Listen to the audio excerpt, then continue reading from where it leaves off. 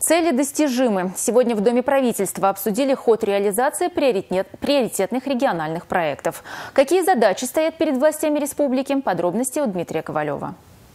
12 национальных целей и десятки приоритетных проектов. Чтобы реализовать поставленные задачи, необходима слаженная работа, отметил председатель правительства республики. Инициативы регионов в федеральном центре поддержат. Также правительство Российской Федерации продолжит поддерживать регионы помимо финансирования в рамках национальных проектов. В 2019 году на выравнивание бюджетной обеспеченности и компенсации дополнительных расходов, которые связаны с повышением зарплат бюджетников, предусмотрены межбюджетные трансферты в размере 1,7 триллионов рублей. Члены Совета утвердили паспорта двух региональных проектов. В Минприроды Республики в ближайшие годы намерены решить проблему обмеления реки Сура. Реализация настоящего регионального проекта позволит улучшить экологическую обстановку реки Суры и обеспечить бесперебойное питьевое и хозяйство бытовое, бытовое водоснабжение.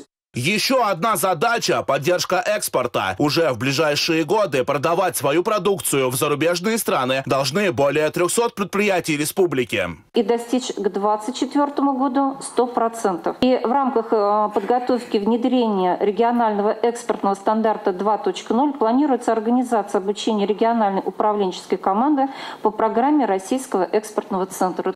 Стратегию развития страны на 6 лет вперед обсуждали на полях Российского инвестиционного форума. Председатель правительства Дмитрий Медведев обозначил приоритетные цели. А что можно получить и что нужно сделать? Более полутора миллионов квартир и 300 тысяч новых индивидуальных домов ежегодно. 40 построенных и реконструированных детских отделений и больниц. 420 центров амбулаторной онкологической помощи. 230 тысяч новых мест в школах. 40 тысяч километров отремонтированных дорог в регионах. Столько же в крупных городах и их пригородах. Практически 50 реконструируемых аэродромов. Ликвидация огромного количества городских свалок. Многое зависит от того, насколько эффективно национальные проекты реализуют власти регионов. За их работой в правительстве страны наладят тотальный контроль. Для успеха у нас есть практически все. Положительная динамика в макроэкономике, беспрецедентный объем государственных инвестиций в национальные проекты, действительно беспрецедентный, вовлеченность и заинтересованность всех регионов. Ну и, наконец, новые кадры и компетенции.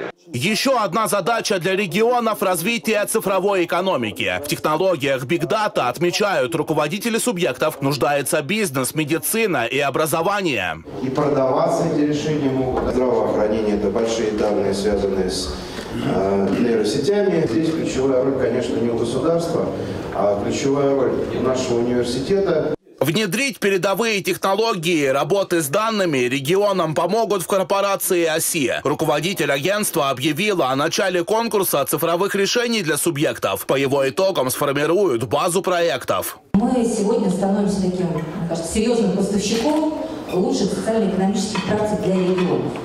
Но что касается цифровых решений для регионов, лучших практик нет еще. Это будет конкурс задач. Первый этап. Второй этап – это будет конкурс решений. И третий этап – это этап внедрения. У нас действительно сегодня огромный запрос на специалистов в этой сфере.